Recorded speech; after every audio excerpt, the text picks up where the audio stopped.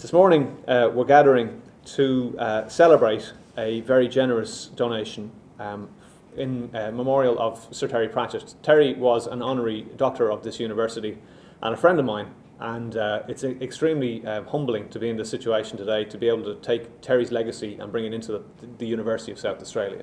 What we're creating here this morning is a perpetual scholarship uh, in Terry's name. This scholarship will provide a, a student the opportunity every two years forever to participate in a Masters by Research uh, in research in the Hawke Research Institute here in UniSA and uh, the Trinity College Dublin Long Room Hub, which means that two of Terry's favourite universities are going to be connected forever by his legacy. I've done an awful lot of talking for Terry over the last few months since Terry's passing, and I always make it abundantly clear, whatever I'm invited to, that I'm just Terry's mouthpiece. Without Terry, I, I, wouldn't, I wouldn't be here. And, uh, and I, I thank him every day for that. So, uh, Hugo, if you could uh, present Terry to the, uh, to the table, please. There he is. Terry's a Akubra hat, uh, given to him nearly five years ago now at an Australian Discworld convention. Terry loved his black hats, as we all know, and suddenly an Akubra obviously native to your wonderful country, became Terry's firm favourite, and that was the hat that Terry was wearing right until the end and was in the room beside him when he died. And so for me, there can be nothing more poignant than that hat being here today. My relationship with Terry goes back many, many years.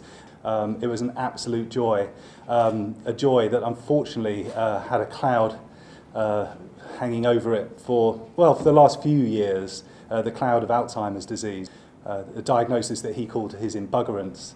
But it was a cloud that Terry wasn't going to let shadow his work, and we ploughed on regardless. So that was 2007. And going into 2008, uh, May 2008, uh, David made contact as Dean of Research of Trinity Co uh, College Dublin and uh, made the very kind offer of a uh, honorary doctorate for Terry. He felt at home there immediately and realised that his honorary, honorary doctorate afforded him uh, something most precious to him, and that was a pint of Guinness at every formal dinner that David provided in a pewter mug. And Terry liked that. Um, Terry liked railing against the authority and felt that his Guinness was a, little nod towards his being naughty. So our relationship with David just got stronger and stronger.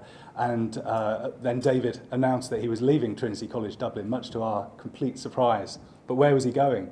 He's going to Terry's second home. He was going to Australia. So this was a too good opportunity to turn down. But by that point, Terry was, he was too unwell really to travel. Uh, and that was going back last year when he received his honorary, uh, honorary doctorate from UniSA. And uh, David came to the office, gave him his doctoral hat with corks hanging from it. And Terry loved that. He, he, he loved that formal connection here with the university. Terry sadly uh, took a turn for the worse and passed away and died in his own bed with his cat Pongo at, at his feet. And then, on his birthday, his daughter Rhianna and myself opened the safe where we knew that there were some letters that Terry had written back in October, and Terry had dictated them in my absence. And so we opened Rhianna's letter, and it's very sad, obviously. There's a letter from her father talking to her from the grave, and there was a lot of tears. And then there was my letter, um, filled with uh, just so just reminding me of things that we'd done and thanking me for burying the bodies and things like that. And, um, but it was a, it was a great letter.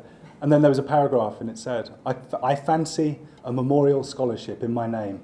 Speak to David Lloyd and make it so.